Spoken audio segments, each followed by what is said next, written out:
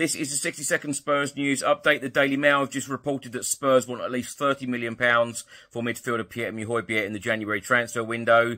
Italian journalist Gianluca Di Marzio has stated that Spurs want at least 30 million euros. The Daily Telegraph has stated that scouts from Juventus were at the Spurs v Chelsea game watching Pierre-Emile Højbjerg.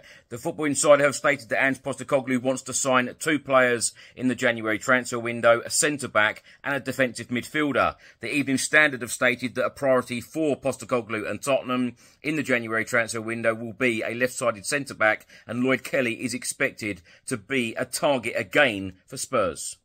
Reports in Italy are stating that Spurs and Roma are interested in Genoa uh, winger Albert Gudmundsson. And reports in Portugal are stating that Spurs have registered an interest in signing Marcus Edwards from Sporting. And finally, Micky van de Ven was seen at Tottenham's training ground on Wednesday. He will undergo a scan on either Thursday or Friday.